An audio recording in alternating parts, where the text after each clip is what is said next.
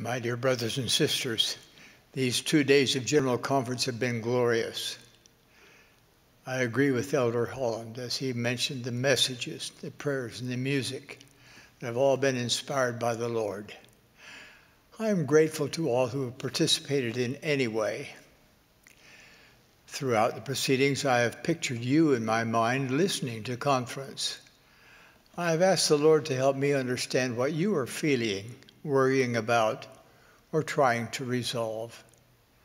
I have wondered what I might say to conclude this conference that would send you forth with the optimism about the future that I know the Lord wants you to feel.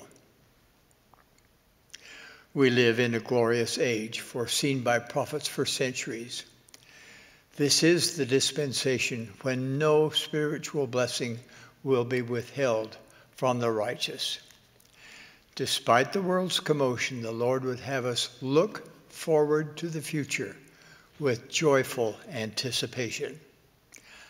Let us not spin our wheels in the memories of yesterday. The gathering of Israel moves forward. The Lord Jesus Christ directs the affairs of his church, and it will achieve its divine objectives.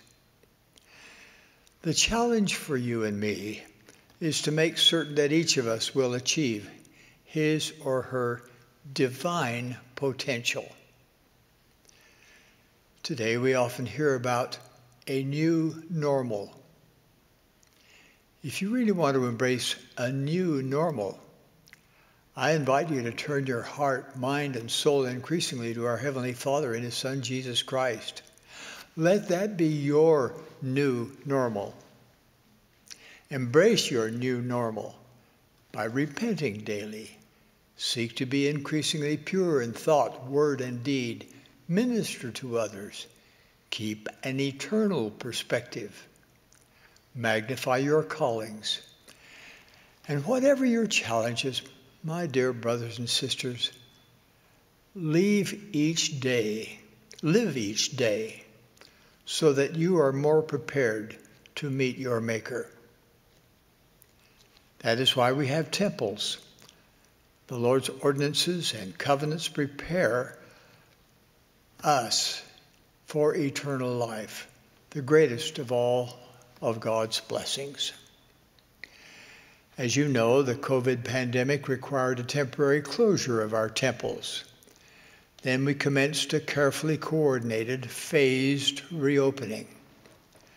With phase two now in place in many temples, thousands of couples have been sealed, and thousands have received their own endowments just in the past few months.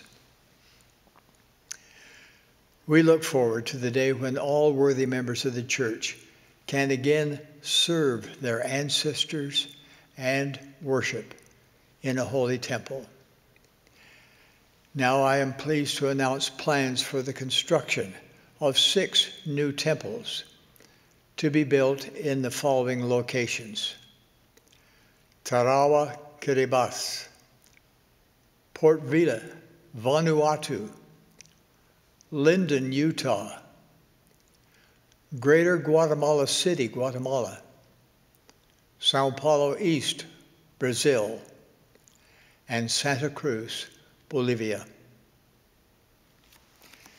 As we build and maintain these temples, we pray that each of you will build and maintain yourself so you can be worthy to enter the holy temple. Now, my dear brothers and sisters, I bless you to be filled with the peace of the Lord Jesus Christ. His peace is beyond all mortal understanding. I bless you with an increased desire and ability to obey the laws of God. I promise that as you do, you will be showered with blessings, including greater courage, increased personal revelation, sweeter harmony in your homes, and joy even amid uncertainty. May we go forward together to fulfill our divine mandate that of preparing ourselves and the world for the second coming of the Lord. I so pray with my expression of love for you. In the sacred name of Jesus Christ, amen.